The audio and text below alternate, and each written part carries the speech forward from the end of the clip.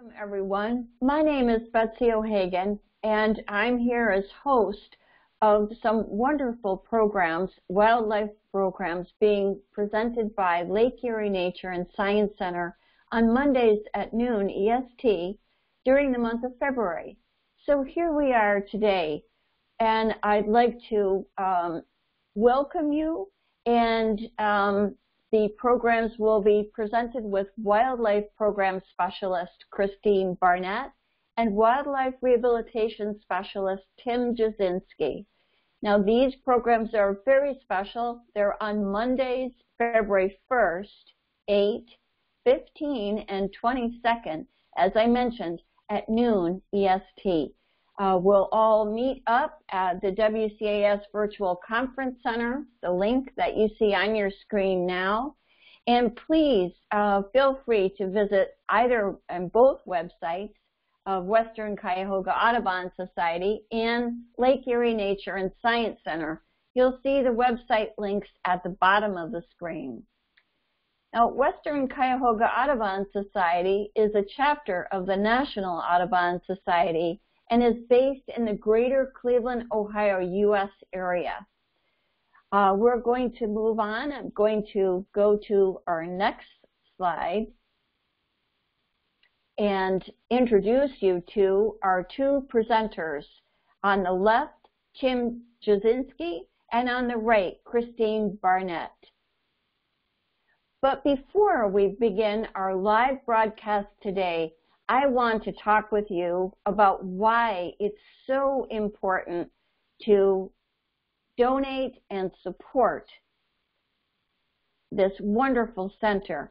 Here, the picture that you can see on your screen now is with a group of birders visiting Lake Erie Nature and Science Center, which abuts the Huntington uh, Preserve and Reserve, a part of the Cleveland Metro Parks on the west side of Cleveland. Here is the center on the left in springtime.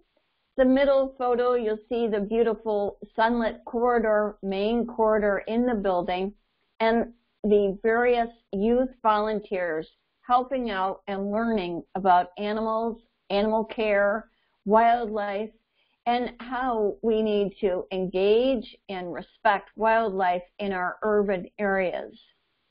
Now, as I said, I wanted to speak with you about donating. It's very, very important that we support these fine centers that are at various community locations wherever you are, whether it's on the west side of Cleveland or in another state or in another location of the world. But for Lake Erie Nature and Science Center uh, is a 501c3 nonprofit organization, and here I've uh, uh, detailed the tax ID and a link where you could go and donate directly to the center. Uh, you would go to the, uh, also you can go to the Lake Erie Nature and Science Center Facebook page and look there for the donate button right on the home page and you can make a donation there as well. Or if you would like to mail a check, you can mail a check to the address at number three on the current slide. You would mail it to Lake Erie Nature and Science Center, Attention Wildlife Rehabilitation Staff, 28728 Wolf Road in Bay Village, Ohio, 44140. And of course, you can always go to uh, the WC Audubon, that's W-C-A-U-D-U-B-O-N dot org website, and go and either search there or on the home page is a navigational button, uh, which you will take you to our article, Make a Donation to Lake Erie Nature and Science Center. Uh, and that is a great thing to do to help our important centers that provide essential services for wildlife as humans and wildlife interact in our more populated regions as well as our rural areas. I'm going to go on. So let me shift our screens now. And today's program is making lifelong connections with wildlife. So today, uh, our presenters are going to take you and help us take a up-close look at some of our animal ambassadors at the center and learn about the important connections between the center's animals and visitors. And stories will be shared and, and I understand live wildlife will be seen. So let us move over to the center and we'll do a little bit of screen swapping here. And have everyone, hang on just a moment.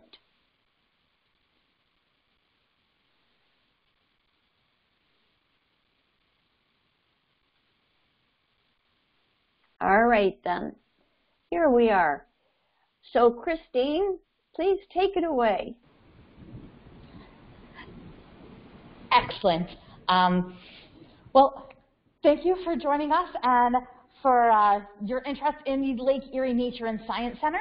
Uh, for those of you who don't know, we are located, uh, as Betsy said, on the Huntington Reservation, which is part of the Cleveland Metro Parks. But Lake Erie Nature and Science Center is actually not a part of the Metro Parks. We're just lucky enough to be located on their property. We're actually a private nonprofit, which uh, means that we get to do a few things that you might not see somewhere else in the Metro Parks. For example, here at Lake Erie Nature and Science Center, we have uh, one of only two public planetariums up in northeast Ohio. So that's one thing that's really special you're going to find here at our center that you won't find at the other nature centers. Um, the other thing that we do that's a little bit special is something called wildlife rehabilitation. And we're going to talk a little bit about that in just a few minutes. Um, but what I'd like to do is tell you a little bit more about our center and how it got started. Uh, our center last year celebrated the 75th anniversary, and the center was actually started uh, by Alberta Fleming. So she was really interested in wildlife and conservation, and she started uh, keeping animals in her own home. She'd have some of the neighborhood uh, students be able to come over to her home to interact and learn about those animals, and she would even take groups of children on uh, different field trips to go out and do water uh, quality sampling and teach them about wildlife as well as how to handle and uh, care for wild animals. So this has that nice beginning, and a lot of those things that Alberta Fleming started are things that we're still doing today. And it really helps to build those lifelong connections between animals and nature and all of the people in the world that we live in. So we're going to be um, we're going to be talking a lot about that and some of the ways that we make those connections uh, today.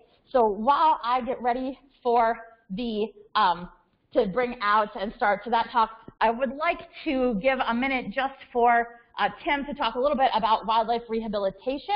And Katie, are you screen sharing our screen? All right, so um, we'll give uh, Betsy just a moment to pull up that screen share.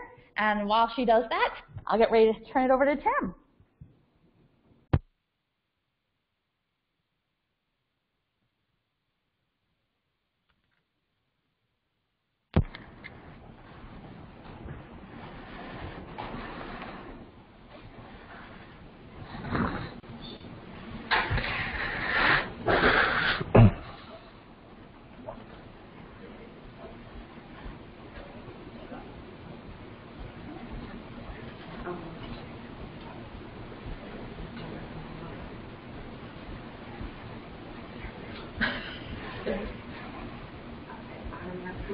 you want preschool connections, or what do you? Um, the other screen.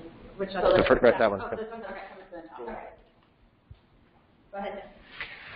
All right, so as Christine mentioned, uh, we um, will be speaking about wildlife rehabilitation. So I am the wildlife rehabilitation specialist here, and I uh, run the rehab center. So um, we 2020 was pretty difficult for everybody, I think, um, and so last year was very different. But we are now accepting all animal species again. Last year was a little bit different. We're specialized in taking just animals that we specialize in, like waterfowl um, and water birds. Um, but this year, we're actually going to be taking everything now. Um, and so that's a good thing. Not everything, certain things. So always call us if you have an animal that you think might be in need because oftentimes they don't need help, and we'll talk about that a little bit later. But um, you know, please call us first. Um, some animals can be dangerous, and you don't want to hurt yourself, and we want to make sure they do need help. So uh, the phone numbers are on there to call our main wildlife line. Uh, we are closed. The center is closed Sundays and Mondays, so we don't have someone at the welcome desk taking phone calls. So that's why we listed our wildlife line number at the top there, um, the 8357 number. That goes right to our wildlife line. We check that very often throughout the day. Um, so if you are, um, you know, you have a question, you call, and we don't answer, just leave a message, we will call you back that same day uh, to make sure that your situation's handled. So, um, and then also the emails on there too. If you wanted to email us a question, uh, we have often we have questions about should I be feeding squirrels or other things like that. So always reach out to us with any questions you have. So um, that's pretty much about that. Um, animals are uh, you know, because of COVID, we're being very careful with this situation. So all animals that we're accepting, we need to have an appointment first. So when you call, we'll direct you to uh, an email that we'll send you with information you have to fill out that you would normally fill out in person. Uh, and that way we can have that information that we need for our permits, uh, and that's required. Uh, so that way everything, we keep everybody safe. Um, we have a specific location that you bring the animal to uh, where we can still talk to you about the situation, but we will, but we'll be distanced. So that's that's a really good thing for you and us. So um, that's how we're handling that. So um, I will uh, put you next to Christine with one of our. Um, yeah, next slide.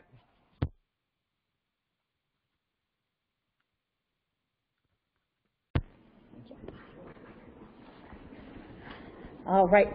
So uh, here at the center, we work on a lot of different animals, but we also interact with a lot of different people. And one of the groups that we see a whole lot of are the preschool students, so the younger aged um, students. This is a time where they're developing the uh, opinions, the attitudes, and uh, their love for animals if they're given those opportunities.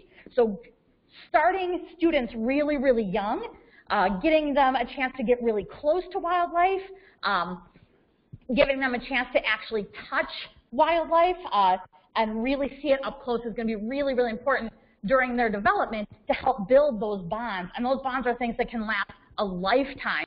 It's going to help students, uh, for example, a lot of people when they're older are afraid of things like snakes. But if you have a preschooler in the room who hasn't been taught to be afraid of snakes, and you get that snake out and they can touch it and they can feel it, uh, as they grow up, if they come into contact with a snake or they see a snake, instead of being afraid, uh, trying to run away, trying to sweep the snake out of the room, they'll under, have that deeper understanding and appreciation for that animal. And that's really what we're looking for here. And that's one of the things that our animal ambassadors help us to do get those students really close up with the animals and give them a chance to really interact and see those animals up close. So uh, what I have with me today is one of our animal ambassadors. So we're going to switch over so we can take a look.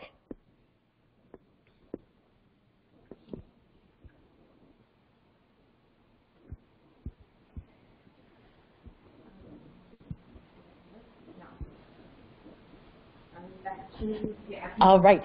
So the animal that I have on my glove right here is one that I'm sure a lot of you will recognize. So this is our gray phase eastern screech owl. And our eastern screech owls um, are a bird that the preschoolers really, really enjoy. They really like. With our larger birds, sometimes the students can get a little bit afraid, a little bit scared. So usually when we start with a class, and we're introducing birds and the idea of having birds up close to you, we'll actually start with a smaller one like this little eastern screech owl. And that way the students can become comfortable with being close to a bird and seeing birds, and then we can move from a little eastern screech owl like this up to larger and larger bird species um, and really get students that connection. It also gives them that chance to look up close as you guys know, when you're trying to find birds or watch birds, they never sit still, right? You're like, oh, I'm about to take that picture. I'm about to get them in my binoculars, and suddenly that's when the bird flies off the branch and is off winging it um, somewhere else. So having a bird on the glove where the students can get really close to it, where you can point out all of the features, things like uh, the little feather tufts, and talk about the fact that those aren't his ears. Um, we can talk about his eyes, things like that. In fact, if you guys take a close look at this guy, you'll notice, and of course he's not going to let me turn him, uh, you may notice that he has one nice bright eyeball, but on this side, uh-oh, we don't have an eyeball there. So when we're talking about our animal ambassadors, there are certain animals we choose um, to become our ambassadors. We do believe that as a, rehab, a rehabilitation center, that wildlife belongs in the wild. So how in the world did we end up with some of our animal ambassadors? And I'm going to turn it over to Tim so he can talk a little bit more about those animals.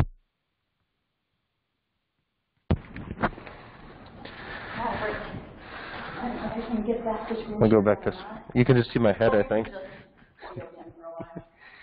Thank you, Christine. So yes, as she mentioned, um, almost all or all of our animals that we have here at the center that we use for education programs um, came into our wildlife rehab program um, or another rehab program with another center um, and can't be released for some reason or another. Um, most of these situations are human related.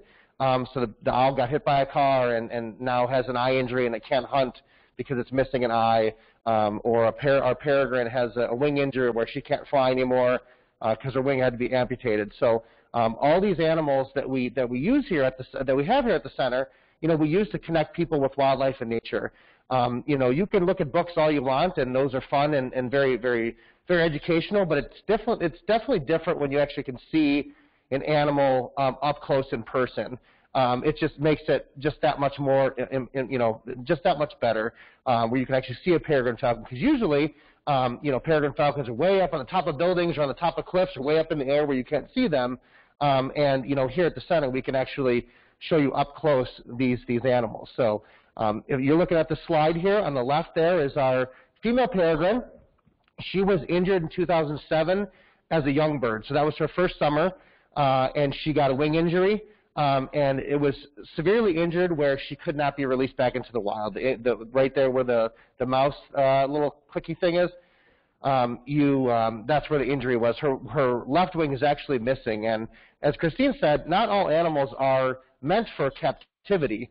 Um, you have to look at the animal's injury um, or the behavior or even the species to see if they would be do, do well um, in, in, you know, in, in a center. Um, snowy owls wouldn't do well in Texas because they're so, so hot down there, and they're, they're you know, used to being up in the Arctic. So um, as, as educa educators, we have to really think about what animal would do best for our programs here and for the animals themselves.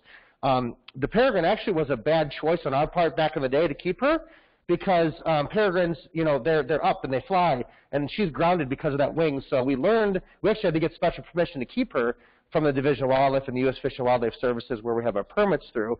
Um, but we ended up keeping her, and and uh, and you know, so in the future we make better decisions on the animals that we keep for our education programs. She's doing fine. She's happy. She lives with a male, male falcon on on exhibit now. Um, she used to be off exhibit actually um, in our in a special room where we kept most of our ed birds, but she's actually outside now where you guys can actually see her and interact, interact with her um, at a distance, of course.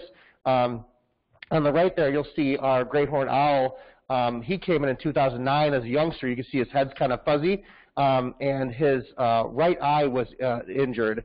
Um, and it was deemed non-releasable by our vets because of the, the you know, trauma to the eye where he can't see. Um, and that bird came into our rehab program um, when he was just probably trying to leave the nest, and he must have fallen and injured his eye, and that's kind of how things happen. And so he is still um, a wild animal here. I mean, they all um, they're they're wild animals. You know, they they uh, you know they don't want to be in captivity, um, obviously, but that's why we choose animals with the right behavior or the right traits to to you know they'll, that they'll do okay here. Um, we had our one of our uh, oldest owls passed away in 2017 and he was at least 39 years old. So we had him since 1980. So these guys can live a long time in captivity, and you think of how many people that bird educated. It's, I mean, thousands and thousands and thousands of people. So, um, so I'll let uh, you meet one of our other animal ambassadors here in a second. All right. So um, the big, big thing is connecting people with nature, connecting people with nature. That's really what we're all about here. And connecting people with animals here at the center can really help extend those connections out into the wild. You see something at the center, you get a chance to see it up close, realize that it's not scary, it's not gross. Um, as you can see, uh, the little girl looking right up close at the opossum. Um, you should never get that close to an opossum. Not a good idea. But here at the center with that piece of glass in between, she can get a really close-up look at how the opossum uses its feet, uh, how its nose is constantly moving as it sniffs and smells. Um, so that's really a great close-up experience, uh, but with that protection, with that glass there. That way when that student sees an opossum in the wild, they're not afraid of it. They don't want to throw things at it. They're not trying to trap it or scare it away uh, because opossums and, you know, when they come into class, they get to learn about all of the cool things that opossums do, like eating ticks and helping to keep our environment uh, a little bit cleaner by eating a lot of the things that they find um, in our environment. So having those connections between I saw it at the Nature Center and, oh, now I understand it, now I'm not afraid of it, and then seeing it in the wild. So that's really the kind of connection and the kind of love uh, that we want to build. We've got students that go home, a possum was my favorite, I got to see it eat. Or maybe they really loved the screech owl because it looked right at them in my eyeballs. Um, so those types of connections, those types of experiences are the things that we want uh, people to keep with them and build with them um, throughout their lives. I have another one of our animal ambassadors here that really does a great job of this um, because this is one of our more common owls in Ohio. And here at uh, Huntington Reservation, we actually have two nesting pairs. Um, so it's a really great chance to see it here at the center and then go straight outside and see it in the wild. So if we take a close-up look, of course, we've got our barred owl with us today. And this barred owl, uh, as with our other animal ambassadors, does have an injury. So you can see on this side, her wing is nice and long, and she's got those nice long wing feathers. But if we turn her around the other direction, on this side, those wing feathers are very, very short, and she's actually missing a portion of her wing. And so with that portion of her wing missing, it makes it very difficult for her to fly. Um, she really can't fly at all. Uh, she can hop around within the enclosure to get to different perches. She can climb up branches, um, but she wouldn't be a good bird to be released into the wild. The great thing about her here is that with barred owls right out on the trail, especially in winter, um, because they're a lot easier to find without all those leaves on the trees, we can show the barred owl in class. Uh, we can take a look at uh, all of its features. Uh, we can give people an idea of exactly how big is this owl. So that's one of the things that's really cool about seeing live animals. You can look at owls in a book, you can look at them online, but seeing pictures doesn't really give you as much of an idea of how big that animal is, um, what the coloration, how its body stands. And so being able to see it live gives you more of that understanding of the shape and the size so that when you go out into the wild looking for the bird or any other animal, you have a better idea of what exactly you're looking for, especially when it comes to owls that like to be right up against those tree trunks, really, really hard to spot.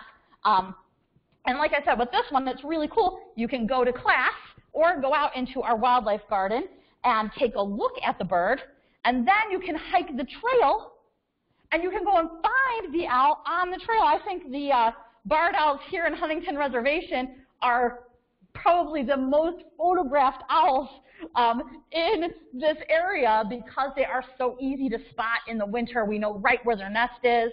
Um, so it's a really great connection between I saw it in class and then, oh, wow, I went and I saw one in the wild. I found it in the tree, and it was staring at me the whole time. Having those experiences really helps to, um, to build that connection. So it's not just, I went to a class, we saw some animals.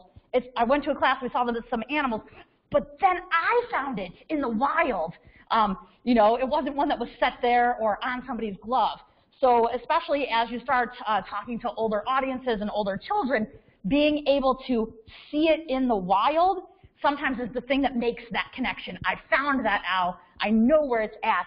Um, and whether they're in a class seeing it or they're out in the wildlife garden seeing it, um, that helps to build those connections a little bit more. And so Tim is going to talk a little bit about some of the connections that are built uh, through animals that people actually see up close. Um, and I'm going to go ahead and turn that back over to him in just a moment.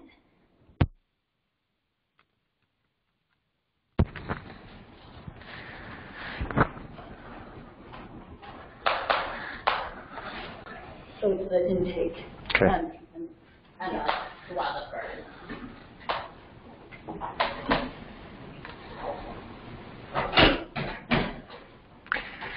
So as Christine said, um, we're you know we're all about making connections here uh, at, at the Lake Erie Nature and Science Center, and every situation is different. Any every animal is different, um, and every uh, just situation is different really. Um, this peregrine falcon um, on the slide here, um, are the slides up? Okay, so um, that bird is nicknamed Spencer. He was actually a, a bird that nested um, near East 9th in Cleveland. He was named that by the Division of Wildlife and Chris and Chad Saladin that um, if you know anything about peregrines, you know those two fantastic people. Um, you could see in that photo there that he's got a plastic cup and uh, paper, or not paper, string wrapped around his feet. So what happened, I found out the story with this, and he was grounded uh, on the ground. He couldn't fly because all that was wrapped around his feet and he couldn't stand. Um, I found out that there was a school somewhere in Cleveland that did a memorial thing with uh, one of their students or something where they would release a balloon with a note in this cup and uh, would tie to the string, and they would release these balloons into the into the air to send this message out. Um, and these are the, one of the toughest things I think uh, in our our position as educators is to how do you tell someone that you know when they have a family member that passed, don't do what you're doing. Um, it's very very tricky. I've tried it many times, and it can be very tricky. You have to, it's very delicate how you handle that situation. But they don't realize that you know, even though it looks pretty as that balloon's floating up to the sky, it's no different whatsoever if you had that balloon deflated and threw that on the ground. Same exact thing, except one way is prettier than the other.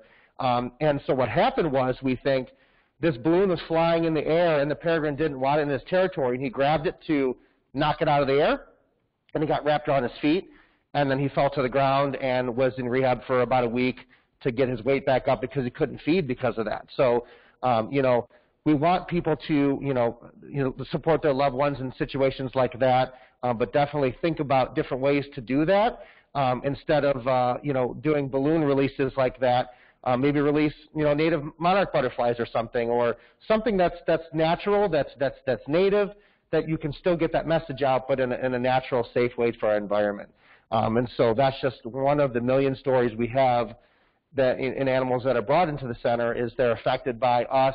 Um, we may not think about it um, in that way, but you know, there's two kind of two sides to it. Where we, we we see that on you know when the bird was brought in here, but the people did that. They wouldn't want that bird wrapped in the wire um, and on the ground like that, but they didn't. They don't know the consequences because they they never thought that was an option.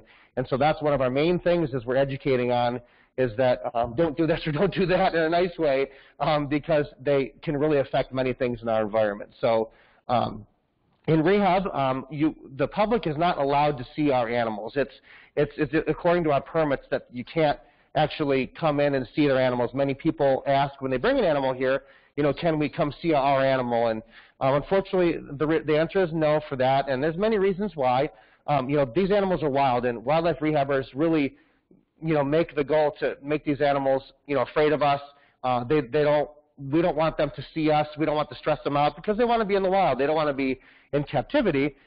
And so we're just kind of in the, you know, helping them to get back into the wild. Like Christina mentioned earlier, um, all the animals we have here are not releasable for one way or another. Our goal is to get them back out there to release them uh, in, a, in a capable way where they can breed and do everything else they need to do as that species. So you wouldn't release the duck with one foot um, or you wouldn't release a hawk with one eye typically, um, and that's because they wouldn't do well in the wild, you know, with those injuries. So that's why we have those. The Owl actually that Christine just had out uh, was uh, wrapped in wire that was covered over a koi pond to prevent the animals from eating the koi. And, and Owls will actually eat fish and frogs and other things like that.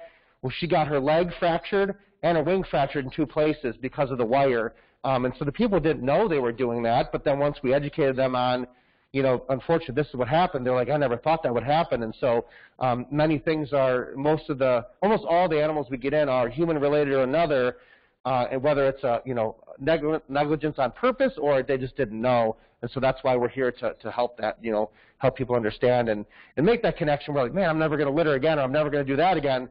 You know, we make that connection because it's, it's important that we get that message out there. Um, and as I mentioned, um, where you can't, the public can't see our rehab animals, uh, two years ago, we actually made an enclosure. Um, it's a it's a it's an exhibit basically where we can actually have wildlife in uh, a pre-release cage the enclosure there, um, where the public can actually look in through those windows and see what animals are in there, and so they might be able to see the animal they brought in. Uh, depending, it's got one-way glass. So according to our permits, you know the public is not allowed to see the animals are not allowed to see the public, and vice versa. So we actually designed this where it's a one-way glass situation where the public can look in and see the animal, but the animal can't see the public. So that's a really good way for, for, for them to be able to look in and see what rehabilitation is because all of it, most of it's off, all of it's off, off you know, off the, the scenes. Uh, you know, and so this is a good way for, for us to educate specifically about window strikes because um, there's windows, and so whenever you have a window, you have window strikes typically that actually has um, a window prevention or window strike prevention on the front of the glass and on the outside of the glass too, because the birds on the inside, we don't want them to hit the window, and the birds on the outside, same thing. So we can, they can see the little dots, the little fitted dots on the windows, and they can, you know, they can learn with the signs right there what what that dot does and what they're there for, and, and how you can do that at your own home. So it's it's a it's a really good way to be able to see. Um, and with rehabbers, we don't um, keep specific enclosures for one species. That would be too tough because we treat over 160 species a year potentially. So we could have an eagle in there, or we could have a possum in there, or we could have, uh, you know, a, a, mink or something. So it's it's really it's, it works really well to to do that. So I think that's an awesome addition that, um, as far as I know, no other center has. So it's a it's a really cool way to do that. So um, I will uh, switch over to Christine so she could show you another cool animal. All right. So what you're going to see um, in both of these slides are students that are actually handling the animals. So in this, um, we have one of our students handling the red-tailed hawk. Uh, in order to get to that level of handling, you have to put in lots and lots of time, lots and lots of hours in order to get to that point. So we're going to start off with the smaller, easier to handle birds, um, and then work the students up to that point. So one of the ways that we're connecting with our high schoolers is giving them that chance to get close to something that is this cool, that's this amazing. So not only are they seeing it in a classroom, not only are they looking at it through the exhibit, but they're actually learning how to approach that bird without any barriers and how to handle that bird without somebody else holding it for them. So that's true whether we're talking about birds or whether we're talking about uh, skunks or rabbits, uh, that experience of being able to pick up and handle and learn how to be the one that's in charge of these animals. They're in here cleaning the animals. They even get a chance, and Tim will talk about it later, to uh, go into a rehab area uh, with the wild animals as well as these really well-trained um, animal ambassadors.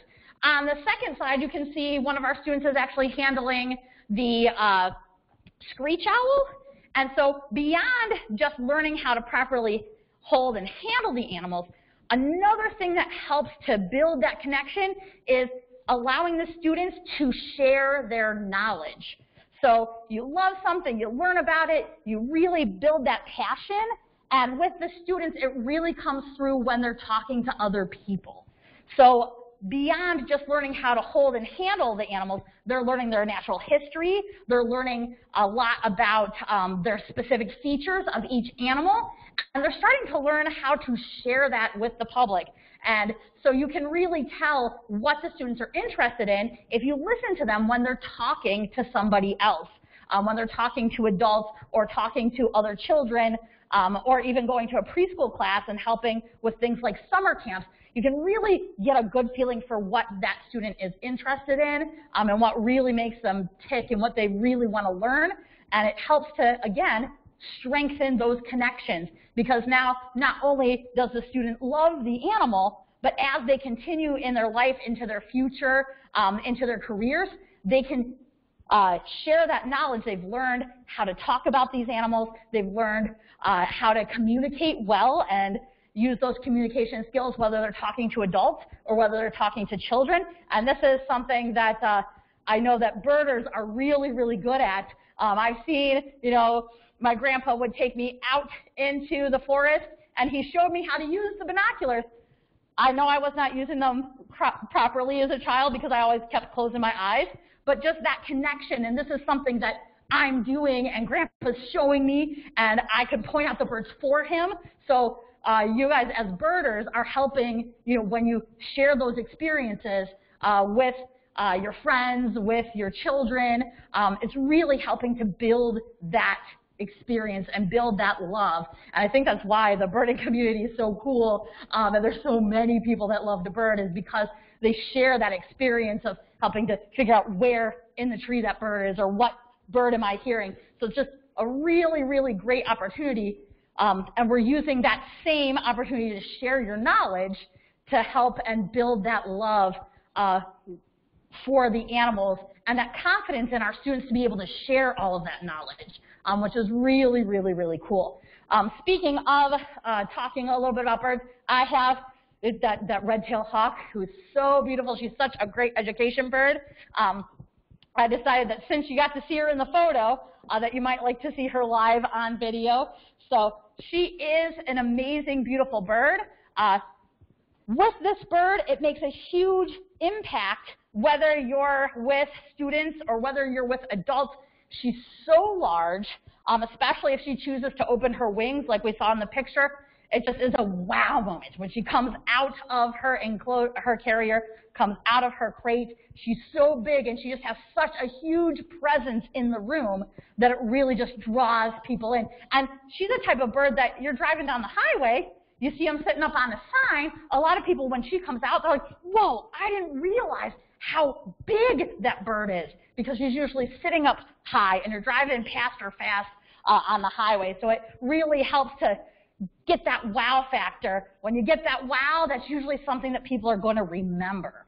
So being able to have such a big, beautiful bird like this really helps, uh, really helps to build that connection. The other thing that's kind of fun and cool is everybody hears red-tailed hawk, red-tailed hawk. Um, uh, when I talk to uh, preschoolers, so we've got the, the older students that like handling, um, when I talk to preschoolers, I usually will turn them around and say, well, what color is her tail? And of course, the answer I get from the younger students is brown. They always say it's a brown, it's a brown tail hawk. So when we talk about bricks and what color are bricks and get to the point that when you say that something's red, like a red-tailed or a red-shouldered, you might not mean apple red like a cardinal. You might mean uh, brick red like the red-tailed hawk, um, which is really pretty cool. Now I'm going to see if I can get her face up close to the camera. This eye that's closer to me uh, is the one that has the injury. So you really can't see it, and we'll see how close she'll let me get. I'm just watching her body language there. And she may not, she may not you. She says, no, I don't think so. There we go. All right. Um, but she does have an injury in that eye, uh, which is the reason why we have her here. So as a hawk, she needs to be able to look the length of a football field and be able to find her prey on the ground. They really, really rely on their sight, and they really rely on having two eyes for that binocular vision. That gives you your depth perception. So only being able to see out of one eye um, really limits her ability to determine how far or close that prey item is. And you really need that depth perception if you're going to swoop down and grab a shrew or a vole out of the ground. So once again, very, very cool animal, helps us to build even stronger connections with not just the preschoolers or the younger students, but also our high schoolers and those adults that go, wow, um, you really want something to shock them, to uh, inspire them to help remember seeing that bird and build those uh, bigger, deeper connections, which is really, really cool. As I mentioned, they get to work on our, our students get to work on handling and teaching but they also get to go a little bit deeper into what's going on when an animal gets injured. And so we're going to let Tim talk a little bit more about the way that we share uh, information about how and why we do rehab with our students. Is pretty cool.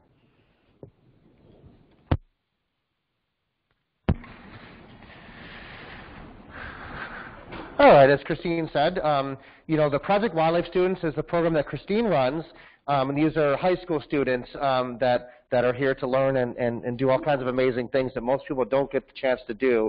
Um, and then those high school high school uh, wild, Project Wildlife students actually get to help in rehab um, when when they you know they graduated through all of their the, their uh, their courses that they do here. Um, they, that's one of the last things uh, for the summer that they get to do is they get to spend a day in rehab once a week and to be able to help us in our in our rehab program. So uh, you know they they it's it's rehab is not an easy thing. There's a lot of work. It's very busy. It's crazy. It's messy. It's dirty um, and you run around and doing 15 things at one time. And so um, as, as the students start when they're, with their first year here, um, Christine's program is just incredible, and they, do, they learn so many cool things. Um, and, you know, every year they get more and more older and more mature, and they could, you know, do more responsibilities. And so that being able to do rehab is the last thing that they get to do before they graduate, and that's a huge thing for them. So you can see in the bottom left corner, uh, the, the bottom slide rather, left slide, is Alyssa and Will, and uh, those were students in two, two, they graduated in 2019, I think. Um, and so they are um, on their own um, force feeding a it looks like a red-shouldered hawk there that was in rehab, and um, that's a huge thing. I mean, that's something that most people don't get to do to be able to uh, hold a hawk and, and give it fluids or give it meds, or you know help do a wing wrap or do things like that. That's something that they most people don't get to do. So you know, can you imagine the the the, the impact that has on their life when they get to do something cool like that? Um, you know, same, it's just amazing. So, um, and another thing we do here at Lake Erie Nature and Science Center is we have an awesome uh, wildlife intern program. Um, last year we didn't have it, of course, because of what was going on, but this year we plan to go ahead and do our internship program. So um, if you're a college student and you're, you're, you're, studying biology or zoology or you know veterinary uh, things like that, you can apply, um, and we're accepting applications till March 31st you just go to our website and, and get the link there, and I think Betsy could probably put that up there too um, for, for that. Um, and on that bottom right uh, slide there, you can see Kyle and Kirsten. Um, both of those, uh, those people were interns at one point, and then they became staff here. So um, it's just an incredible where you can kind of move up in your life and, and do that. Kirsten actually left us recently to go to vet school. So luckily, I told her we get free vet, uh, vet care when she comes back uh, after she's a veterinarian. So that's amazing. Um, and Kyle's still still a worker here today, and he's holding a goose in this in this this photo, and he actually just admitted a goose about half an hour ago. So it's it's really you know that's awesome that you could you know be an intern here, um, learn all the cool things that we get to do in a rehab summer, um, and then apply that to your life in the future. Um, you know, sometimes a lot of times rehab is not for everybody. It's you know there is a lot of death unfortunately, and it's not as gloomy as you see those things on Facebook where there's, you know, um, I'm this person and my mom thinks I do this and my friends think I do this. You know, rehab's not always fun, but you know, it, it is part of the job, and um, you know, we, you know, we do get to release many animals, and um, we're very proud of that. But not all of them, unfortunately, are able to do that. So um, that's, you know, they get really exposed to that and learn this may be for me or this may not be for me. You know, it, it, every every person's different and their passions are different. So but this is what this program is so amazing for is because that builds that, you know, that, that confidence in, in those students and in those kids and uh, really can teach them, you know, is this for me or is this not for me? Um, I know one, one of our interns in 2019 uh, didn't really care for waterfowl, and that's what we specialize in here, waterfowl. And then after she left, she, she loves waterfowl. That's her favorite thing. And she's applying for a new internship position this year at a, wild, at a, at a seabird sanctuary in Alaska. Um, and so, you know, that's just huge that, you know, we, we, you know, we developed that with that, with that person and now they're, you know, they're, they're going more, more forward in other, other areas of their life to continue that passion. So that's huge. Um, it's just, it's so cool. We, you know, deal with so many different things. They're injured animals. Um, you know, we're feeding baby animals. Um, you know, and it's, it's just, every animal is different. So, you know, you might have a squirrel that is very, very nasty and, and mean, um, but you might have a, a mourning dove that's very calm and, and, you know, is not really scared of people. So Every animal is different. Um, every species is different, and you know we have to know how to care for all those species in one day. So we can get two geese in, a hummingbird, and an eagle, and we have to know how to care for, feed, set up, and with their enclosure, all those different animals. And so that really teaches these students, you know, how, how we do that. You know, you don't want to give a hummingbird a bowl of nectar to drink, to drink out of because it could fall in, get hypothermic, and it could kill it. So there's many things that you learn in this, in this field that you would never think about. Um, it's just, it's really, really awesome that we can, that we can, you know, teach these, these young kids and these young, young humans, you know, what, what we can do in the future to, to help wildlife uh, and just you know continue their passion throughout their lives. It's just so cool. So um, it's just it's awesome. We'll go to the next slide. Me, you want to do it now?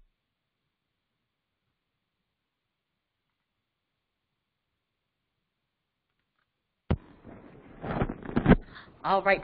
So um, as you heard, we love connecting with people. We love teaching people, whether it's people who end up staying at the center and uh, working with us, whether it's volunteering or as a staff member, or whether it's those folks that are heading out uh, to do something a little bit different. Uh, we had one of our interns actually base her um, master's uh, thesis on one of our animals and use that as part of her coursework. And now, in just a few months, she's going to be graduating from veterinary school. So building those connections is really what's at the core of uh, what we do here and part of our mission to really connect everyone with uh, nature and the wild animals and wildlife right in your very own backyard.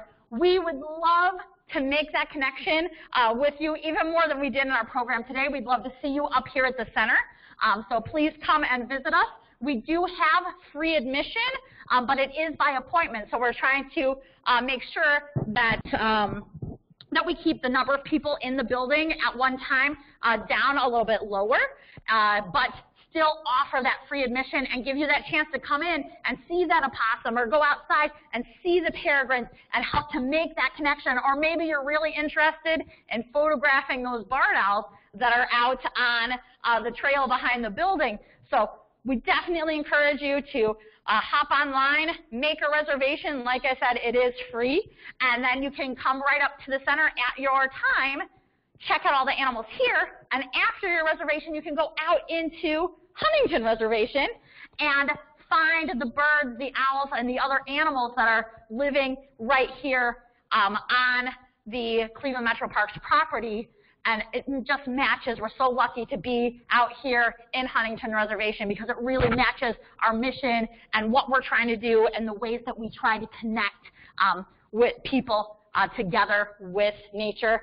And uh, we're really excited to have talked to you guys today and really hope to see you here at the center and maybe even see you again next week um, where we're going to be talking a little bit more about rehab and we're going to actually follow a couple of cases and take a closer look at um, some of the items and things that uh, animals may have gotten trapped in in the past. Well, thank you, Christine and Tim. Thank you so much. Thank you, Christine Barnett and Tim Jasinski uh, from Lake Erie Nature and Science Center.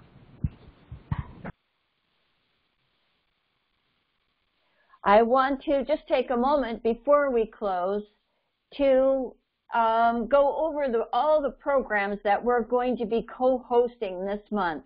Today, as we see the, on the slide, number one, February 1st, Making Lifelong Connections with Wildlife. What a lovely program. Thank you. We hope you'll join us for next week, next Monday, uh, February 8th, Trashy Situations, How Waste Affects Wildlife. Then the following Monday, the perils of bird life and how you can help. And then the fourth Monday in February, baby season. Does baby wildlife really need our help? So uh, you can learn much more about all of these programs uh, online and also going to visit wcaudubon.org, wcaudubon.org, the website go to the home page and you'll see a navigational button, uh, wildlife programs. Click on that and it'll take you to the, this information.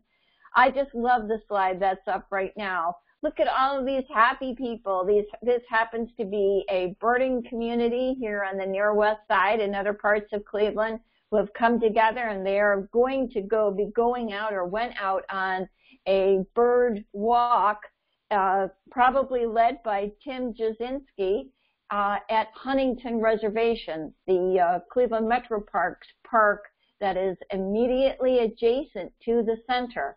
What a resource. Uh, here again, I want to show you, in case you didn't get to see in the beginning, take a look at these lovely photos. On the left, the beautiful center. This is the lovely center on the left in springtime, it happens to be. And then the two other programs or photos show uh, young wildlife uh, interns and uh, all the things that they're doing to learn and uh, learn about animals and animal care. So in my closing, I'd like to ask you to please consider making a generous donation to this wonderful center. Uh, you know, wildlife rehabilitation specialists are some of today's unsung heroes and heroines. They're now working under tremendous pressure, and they continue, regardless, to aid and assist injured wildlife despite the crippling effects of climate change, that are, is now compounded by the social and economic complications of this new and challenging COVID-19 era. So please consider making a donation. And here on the slide that you see, I've listed out several ways for you to do that. One, the information is about the center, that it's a 501c3 organization, it's tax ID, and the link of where you can go to the Lake Erie Nature and Science Center website and make a direct donation.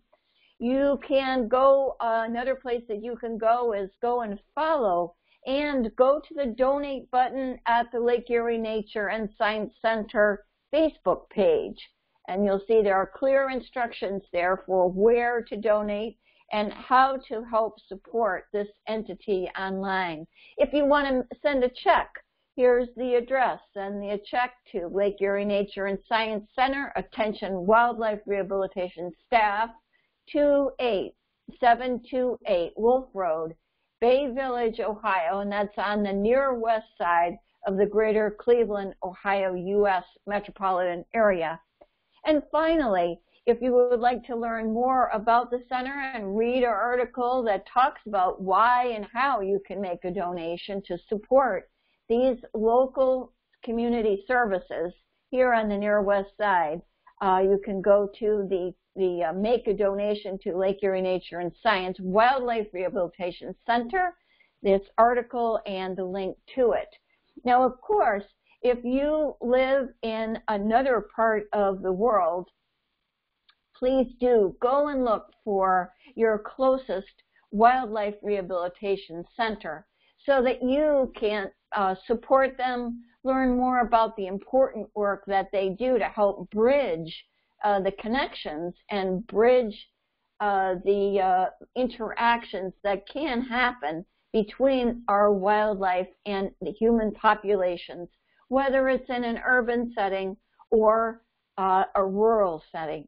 So I'd like to close the, uh, with, again, thank you to Christine and Tim for this wonderful uh, program today. And here they are once again, our wildlife rehabilitation hero and heroine. Here's our, our programs, how to make a donation, and Thank you so much for attending today. We hope we see you again uh, very soon.